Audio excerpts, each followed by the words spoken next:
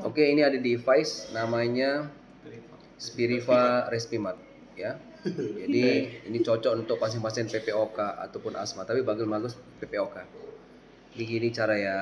Jadi pasien-pasienku kalau lihat VT ini jangan sekali kalian salah pasang. Jangan sok paten kan. Jadi ini sekarang dia refill, ya kan di refill. Ya kan? Ini jadi setiap kali datang berobat ini dibawa. Ini aja diisi. Kok BPJS ini aja nih diisi setiap bulan. Ya, ini ada tiga. Ya, ini tutupnya, ini apanya? Apa namanya? Refillnya, ini device-nya. Oke, kita coba ya. Langkah pertama masukin.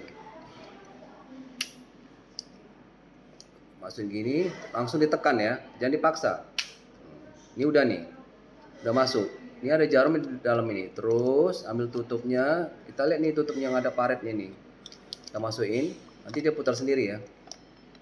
Ya, si si si si.